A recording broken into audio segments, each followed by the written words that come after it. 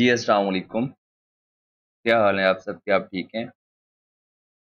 जी, हम आज इस वीडियो से अपना कैफ नाइन का जो सिलेबस है, जो आपका पेपर है, उसके सिलेबस को कवर करने जा रहे हैं। ये उसकी एक इंट्रोडक्टरी वीडियो है, जिसमें हम कुछ पॉइंट्स को डिस्कस करेंगे। सिलेबस के इंट्रोडक्शन से पहले मैं आपको अपना इंट्रोडक्शन करवा देता हूँ, ताकि आप लोगों को पता हो कि हमारे जो टीचर्स हैं, वो क्या उनकी क्वालिफिकेशन हैं और वो इसमें वो क्या काम कर रहे हैं। मेरा नाम जैसे कि यहाँ पर मेंशन है, आप पढ़ सकते हैं। मैं ये फाइनलिस्ट हूँ और पाकिस्तान के जो टॉप टेन फॉर्म्स हैं, जो इंटरनेशनली भी टॉप टेन फॉर्म्स में हमारी फॉर्म आती है वहाँ से मैं क्या कर रहा हूँ अभी? आर्टिकल्स कर रहा हूँ। तो मैंने ये भी इस दफ़ा से डिसाइड किया है कि मैं आपको अपना जो व्हाट्सएप नंबर है कॉन्टैक्ट नंबर है, वो मैं यहाँ पर बता दूँ। ताकि स्टूडेंट्स क्योंकि जो इस लेक्चर्स को, इस कोर्स को रेगुलरली फॉलो कर रहे होंगे तो वो फिर उनको क्वेश्चन को डिस्कस करने के लिए कोई पर्सन चाहिए होगा जिससे वो डिस्कस कर सकें, अपनी प्रॉब्लम्स को शेयर कर सकें। तो आपको भी कोई प्रॉब्लम अगर आ रही है, कोई चीज़ समझ नहीं आ रही, अगर आप शक ये लेक्चर नहीं ले भी रहे तो आपको फिर भी ऑडिट में, किसी कैफ के और सब्जेक्ट में कोई इशू आ रहा हो तो आप वो इजीली बिल्कुल फ्री होकर मुझे व्हाट्सएप पे टेक्स्ट कर सकते हैं, जो आपकी प्रॉब्लम होगी आप वो इशू कर वहाँ पर डिस्कस कर सकते हैं। जैसे ही मेरे लिए पॉसिबल होगा मैं आपकी उस प्रॉब्लम को उस को वहाँ पर एड्रेस कर दूँगा। तो आज की इस वीडियो में जो हमने पॉइंट डिस्कस करने हैं वो वो पाँच पॉइंट हैं। कोई बाद में माइंड में आगे दो भी डिस्कस कर लेंगे। जो पहला पॉइंट है वो है कि इस सब्जेक्ट का डिफ़िकल्टी लेवल क्या है कि किस लेवल का डिफ़िकल्टी है इसके अंदर और किस लेवल की टेस्टिंग करते हैं आई कैप इस पेपर के अंदर। फिर जो सेकेंड पॉइंट है वो कि हर सिलेबस में होता है। आप, आपको पता है कि आई कैप आपके सिलेबस को हंड्रेड मार्क्स को डिफरेंट ग्रेड्स में डिवाइड कर देता है कि जिस ग्रेड में कुछ चैप्टर्स होते हैं और उन चैप्टर में से मैक्सिमम मार्क्स का क्या आता है पेपर वो अटैम्प्ट करता है। उसको डिस्कस करेंगे। फिर हम थर्ड पे देखेंगे कि आपको, अगर मेरे साथ आप चल रहे हैं, अगर नहीं भी चल रहे तो आइडियल आइडल जो बुक है आपकी, जो आपको मैं रिकमेंड करना चाहूँगा, वो कौन सी बुक्स हैं, वो भी डिस्कस करेंगे। एंड फोर्थ पॉइंट है कि जो आई कैप का सिलेबस है ऑटम ट्वेंटी के अटैम्प्ट के लिए जो ऑडिट का सिलेबस था उसमें। और जो स्प्रिंग 21 के अटैम्प्ट के लिए जो सिलेबस होगा आई कैप का, उसमें डिफरेंसेस क्या क्या हो सकती हैं? एक्सपेक्टेड चेंजेस क्या क्या हैं? क्योंकि अभी तक आई कैप ने अपना जो सिलेबस है 21 अटैम्प्ट के लिए अभी अपलोड नहीं किया, वो होपफुली अक्टूबर के फ़र्स्ट जो 10 दिन है, उसमें वो अपनी वेबसाइट पर आपकी लॉगिन एरिया के अंदर क्या कर देगा? अपडेट कर देगा। जो फिफ्थ पॉइंट हमने डिस्कस करना है, वो है कि हम, मैं आपको इस कोर्स को किस तरह से कवर करवाऊँगा और एक्सपेक्टेड डेट क्या है मेरे मुताबिक जिस डेट तक ये हमारा सिलेबस क्या हो जाएगा कंप्लीट हो जाएगा। हम अपने फ़र्स्ट पॉइंट्स को डिस्कस करते हैं सबसे पहले कि सिलेबस का डिफ़िकल्टी लेवल क्या है। आपको पता है कि आपके जो कैफ का सिलेबस है, उसमें थ्योरी के सब्जेक्ट्स तीन, चार हैं। CAF two CAF three CAF four CAF nine tax को मैं थ्योरी में नहीं कंसिडर करता क्योंकि वहाँ पर जो मेजर चीज़ें हैं वो आपकी जो सिक्सटी परसेंट जो पोर्शन है वो न्यूमेरिकल बेस्ड होता है और रिमेनिंग जो पोर्शन है वो आपका या तो कॉन्सेप्ट बेस्ड होता है स्नैरियो बेस्ड होता है जो वहाँ पर वो भी कैलकुलेशन करवा रहा होता है और बहुत थोड़ी चीज़ें जहाँ पर वो क्रैमिंग पूछता होता है। तभी उसको मैं न्यूमेरिकल में कंसिडर कर रहा हूँ, यहाँ पर मैं थ्योरी में नहीं बता रहा। कि कैफ टू भी सर आपका स्ट्रेट फॉरवर्ड है, मुश्किल नहीं है। कैफ थ्री आपका डिफ़िकल्ट पेपर है कैफ का। एंड सिमिलरली कैफ नाइन भी आपका डिफ़िकल्ट पेपर है पेपर है कैफ सीरीज़ का। अब यहाँ पर डिफिकल्टी लेवल किस वजह से है? क्योंकि अगर आपको पता हो कि एक चार्टर्ड अकाउंटेंट आप बनने आए होंगे तो आपको पता है कि एक ऑडिटर वर्ड जो यूज़ होता है, कि ऑडिट करने जा रहे हैं। चार्टर्ड अकाउंटेंट का काम, जो मेन काम है, जिसके लिए वो क्वालिफिकेशन है, उसको माना जाता है, उसकी वर्थ है, वो है कि एज ए ऑडिटर का। अब ऑडिटर बनने के लिए ऑडिट करने के लिए आपको कैफ नाइन मेजर सब्जेक्ट है जो आपको आना चाहिए। इसलिए यहाँ पर जो आपका टेस्टिंग लेवल है आई कैप का, वो थोड़ा सा टफ है। अब यहाँ पर जो डिफिकल्टी के अंदर मैं बता दूँ कि जो टेस्टिंग है, वो क्या करता है? कॉन्सेप्ट टेस्ट करता है।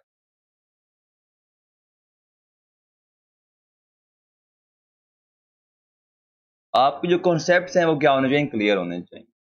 अगर आपने इस पेपर की प्रिपरेशन करनी है, तैयारी करनी है तो बेशक इकोनॉमिक्स में क्या होता है, आप क्रैमिंग आगे चले जाते हैं, आप कॉपी पेस्ट कर आते हैं, आपको पास हो जाता है। बी एम बी एस में भी मेजोरिटी क्या होता है कि आपके जो सेवेंटी परसेंट प्लस पेपर होता है, वो आपका क्या आता है? क्रैमिंग आती है नॉलेज बेस आता है, जिसमें आप क्या करते हो आंसर कॉपी पेस्ट कर आते हो, जो बुक वाला आंसर वहाँ पर रिप्रोड्यूस कर आते हो आप पेपर पास हो जाते हैं। लेकिन जो कैफ नाइन है, इसके अंदर आपका ऑलमोस्ट सेवेंटी फाइव परसेंट से अबव जो है, वो आती है कॉन्सेप्चुअल टेस्टिंग होती है।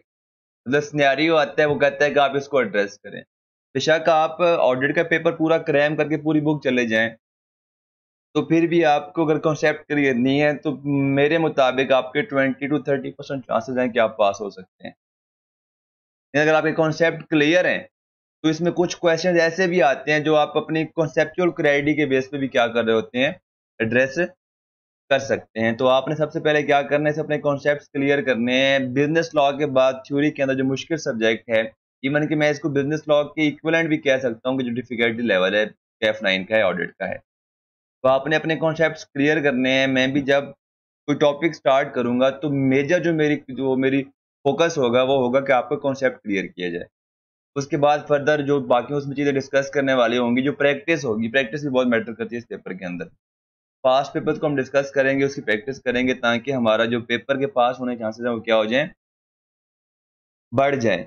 तो हम फिर उसमें कहते हैं सेकेंड पॉइंट को डिस्कस करते हैं, वो आपका है डिवीज़न ऑफ़ सिलेबस जी, हम देखते हैं कि आपकी ग्रेड्स कितनी है। जी आई कैप ने आपके सिलेबस को पाँच ग्रेड्स में डिवाइड किया है। जो पहली ग्रेड है अगर मैं आपको स्टडी डेस्क से दिखाऊँ, उसे स्टडी डेस्क मैंने ओपन की हुई है।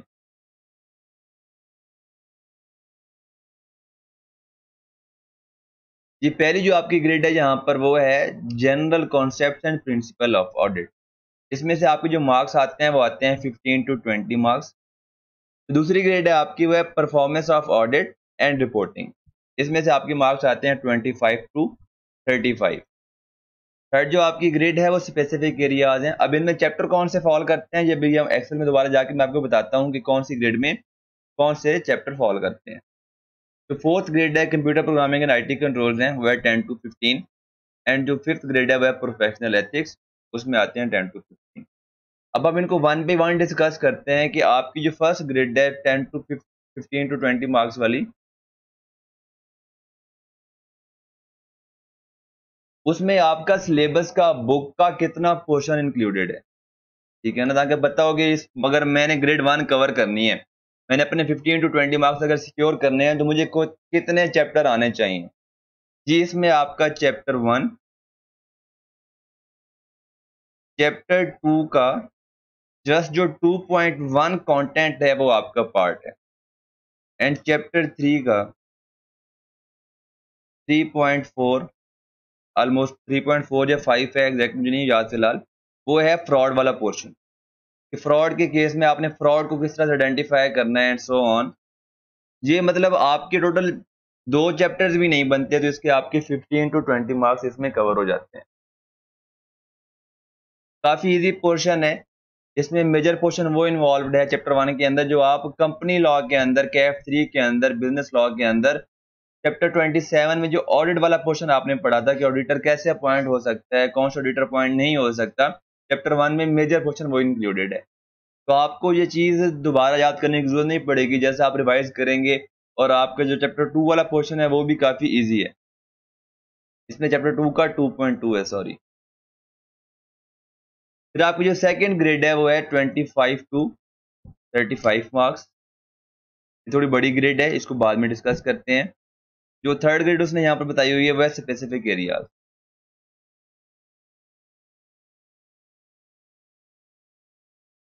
वो आपकी है twenty to twenty five marks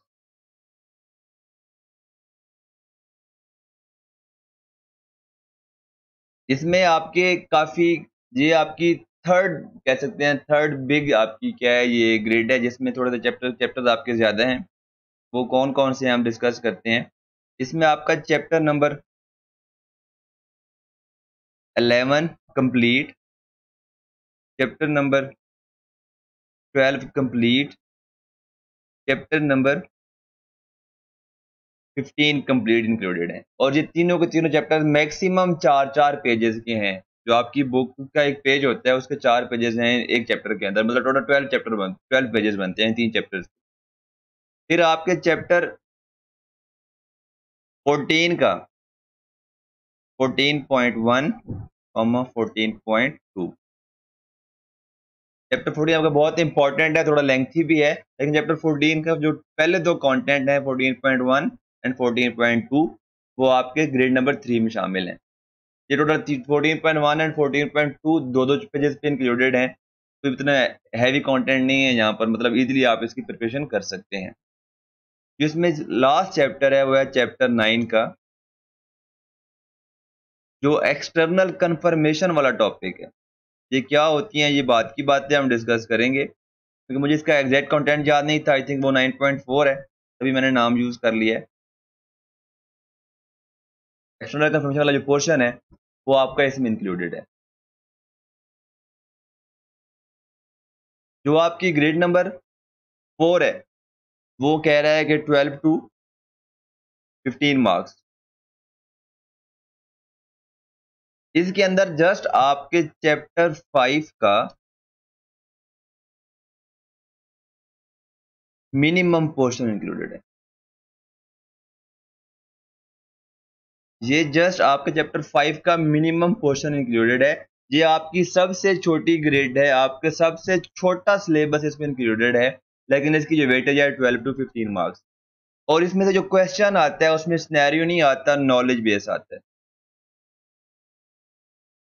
मतलब क्या हुआ कि जस्ट आपका इकोनॉमिक्स या बी एम बी एस वाला है कि आपने चीज़ क्रैम करनी है और जाकर रिप्रोड्यूस कर देनी है वहाँ पर. जो उसने रिक्वायरमेंट रखी होगी क्वेश्चन के अंदर, आपने उसका आंसर दे देना है. इसमें कोई डिफिकल्टी लेवल नहीं है. ये थोड़ा सा आईटी रिलेटेड आपको नॉलेज देते हैं कि आईटी सिस्टम किसी भी बिज़नेस के अंदर जो आईटी के कंट्रोल होते हैं, वो कौन कौन से होते हैं, आपने वो यहाँ पर क्या करना है? हम डिस्कस करेंगे, देखेंगे यहाँ पर ये चीज़ें क्या क्या होती हैं। जो आपकी लास्ट ग्रेड है, वो आपकी है प्रोफेशनल एथिक्स वो है टेन टू फिफ्टीन मार्क्स की। इसके अंदर आपका चैप्टर नंबर थर्टीन और चैप्टर नंबर टू का टू पॉइंट वन कॉन्टेंट ये भी मिलाकर मैक्सिमम कोई दस पेज बन जाएँगे। मैक्सिमम कह रहा हूँ, दस पेज बन जाएँगे आपकी बुक का। और उसमें से आपके जो पोर्शन कवर हो रहा है, ये हो रहा है टेन टू फिफ्टीन मार्क्स का। अगर हम इसको कंक्लूड करें, जो रिमेनिंग पार्ट है आपका बुक का रिमेनिंग बुक उसमें से आपके just twenty five to thirty marks आते हैं मैक्सिमम अब वो कौन कौन से हैं? Chapter three chapter four chapter five का remaining portion chapter six chapter seven eight chapter nine का remaining portion chapter ten chapter fourteen का रिमेनिंग पोर्शन अगर आप देखें आइडेंटिफाई कर सकें कि आपकी बुक का जो वन थर्ड पोर्शन है, अब टोटल आपके फिफ्टीन चैप्टर्स हैं, उसमें से chapter three four five six seven eight nine ten fourteen in short कह सकते हैं कि जो आपकी बुक के फिफ्टीन चैप्टर्स में से जो ऑलमोस्ट एट चैप्टर्स बनते हैं, उनमें से just twenty five to thirty five marks paper आता है मैक्सिमम जो रिमेनिंग सेवन चैप्टर्स हैं, जिन चैप्टर का साइज़ भी बहुत कम है। मतलब मैक्सिमम चैप्टर का साइज़ है तो सात से आठ पेजेस का है। तो उनमें से आपका पेपर आता है sixty five to seventy five marks का हम कंक्लूड करें तो चैप सिक्स चैप्टर्स में से टोटल सिक्स चैप्टर्स में से, आपको जो पेपर आता है, वो आता है sixty five to seventy five marks जो रिमेनिंग एट चैप्टर्स हैं ऑलमोस्ट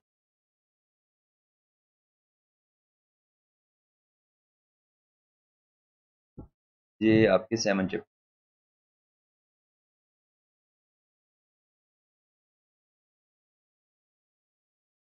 इसमें जो आपकी टेस्टिंग होती है रिमेनिंग चैप्टर्स में से, वो होती है आपकी twenty five to thirty five marks तो इससे आप अंदाज़ा लगा सकते हैं कि कौन से एरियाज़ आपके ज़्यादा इंपॉर्टेंट हैं।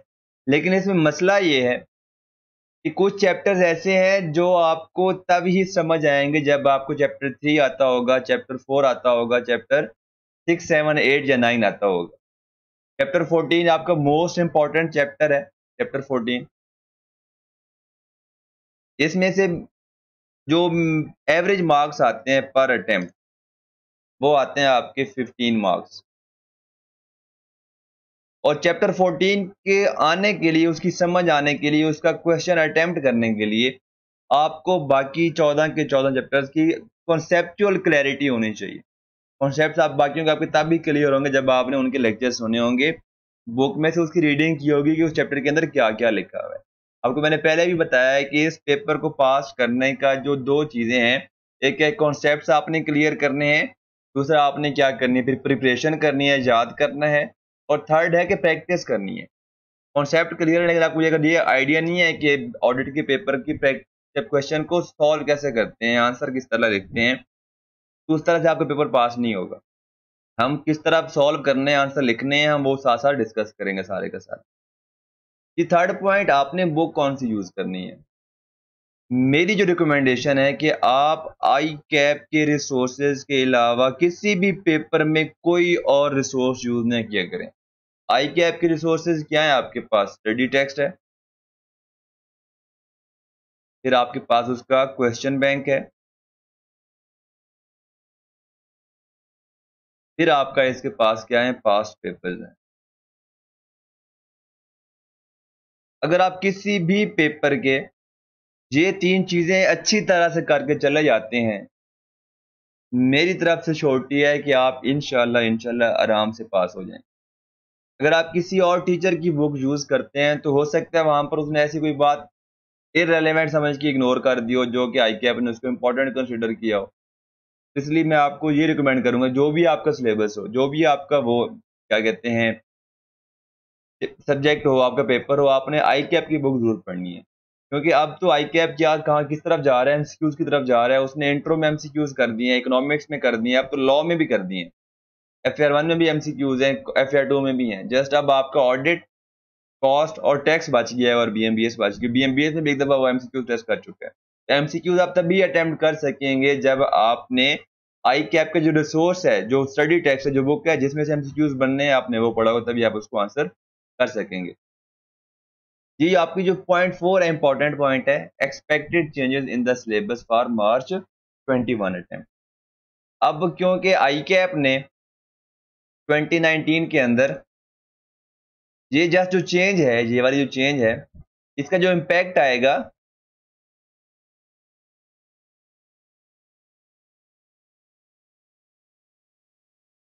वो आपके चैप्टर नंबर थर्टीन पर आएगा एंड आपके चैप्टर नंबर टू का टू पॉइंट वन पर क्या आएगा, इसका इम्पैक्ट आएगा। इसके अलावा इस पर कोई इम्पेक्ट नहीं आएगा। चेंज क्या होनी है, वो भी आपको समझ नहीं आएगी उस पॉइंट पे। तो हम जब हम उस चैप्टर को डिस्कस कर रहे होंगे, जो आपकी जो फिफ्थ ग्रेड है, इसमें क्या है कि एक्सचेंज आ सकती है, कुछ वो एडिशन नहीं होंगी, क्योंकि एक तरह जब लॉ आपका चेंज होता है, जब रूल्स चेंज होते हैं तो जो रिवाइज रूल होते हैं, वो आपके सिलेबस का पार्ट होते हैं। जो एथिक्स के स्टैंडर्ड हैं आई के, वो अब क्या हुए हैं रिवाइज हुए हैं, दो हज़ार नाइनटीन में। तो जो अभी तक आपके सिलेबस का पार्ट था, वो थे एथिक्स स्टैंडर्ड्स 2015 वाले। तो मोस्ट प्रोबेबल ये चांसेस हैं कि आपकी जो एथिक्स वाला पोर्शन है, जो आपकी फिफ्थ ग्रेड है, वो क्या हो रही है? इस इस मार्च के अटेम्प्ट के लिए होपफुली चेंज हो सकती है। हो जाएगी, मुझे यही उम्मीद है। जो आपका फिफ्थ पॉइंट है वह कोर्स कवरेज प्लान हम जो जो चैप्टर्स हैं, आपकी ग्रेड है, मैं उसको कैसे लेकर चलूँगा? आपने कैसे लेकर चलना है? साथ में तो जैसे मैं चलूँगा, आपने वैसे ही चलना है। जब आखिरी दिनों में जब पेपर नज़दीक आएँगे, तब आपने कैसे चलना है, मैं उस पर सेपरेटली एक वीडियो अपलोड कर दूँ। सबसे पहले आपको हम बता दूँ कि मैं चैप्टर वन से स्टार्ट करूँगा। चैप्टर वन इंशाल्लाह हम डिटेल में डिस्कस करेंगे यहाँ पर बेसिक कॉन्सेप्ट हैं आपके ऑडिट क्यों करते हैं, क्या रीजंस हैं। चैप्टर वन के बाद चैप्टर टू को डिस्कस करेंगे, मोस्ट टू और थर्टीन। Two point two. क्योंकि आपके सिलेबस में जो चेंजेस एक्सपेक्टेड हैं स्प्रिंग ट्वेंटी वन के लिए वो चैप्टर थर्टीन में आनी है और चैप्टर टू टू का टू पॉइंट वन में आनी है। अगर आपका सिलेबस पहले आ जाता है, अभी मैंने चैप्टर वन कंप्लीट नहीं होता तो जो भी अगर चेंजेस हो जाती हैं तो फिर मैं उसके अकॉर्डिंग चैप्टर थर्टीन ही स्टार्ट कर दूँगा चैप्टर वन के बाद। फिर अगर चैप्टर वन मेरा पहले कंप्लीट हो जाता है और आपकी जो आई कैप का सिलेबस है वो बाद में आता है तो इसलिए मैं चैप्टर थर्टीन को फिर बाद में डिले कर दूँगा थोड़ा सा चैप्टर टू का टू पॉइंट जो टू कंटेंट है वो चेंज नहीं होना तो उससे हम फर्दर डिस्कशन स्टार्ट कर देंगे। फिर हम चैप्टर थ्री को डिस्कस करेंगे एंड फिर सीक्वेंस में सारे डिस्कस करेंगे। कहीं पर हो सकता है कि इंपॉर्टेंस के लिहाज से मैं चैप्टर की सीक्वेंस चेंज कर दूँ, लेकिन फ़िलहाल मेरा ये प्लान है कि हम क्या करेंगे इस चीज़ को एक सीक्वेंस में लेकर चलेंगे। ये था आपका इंट्रोडक्शन आपके सिलेबस का। बाकी इसका जो प्रॉपर जो हम क्लासेस स्टार्ट करेंगे, वो नेक्स्ट वीडियो से स्टार्ट करेंगे। एंड आई होप कि आपको ये काफ़ी फ़ायदा देगा। अगर आपको ये फ़ायदा दे रहा होगा तो आपने कमेंट्स या लाइक के थ्रू अपना फीडबैक ज़रूर देना है। उससे क्या होती है मोटिवेशन मिलती है और इनक्रेज होता है कि जी हाँ और वीडियो मुझे बनानी चाहिए और अच्छी बनानी चाहिए, क्योंकि मुझे फीडबैक आ रहा है पॉजिटिव फिर नेक्स्ट वीडियो में मिलते हैं। तब तक के लिए अल्लाह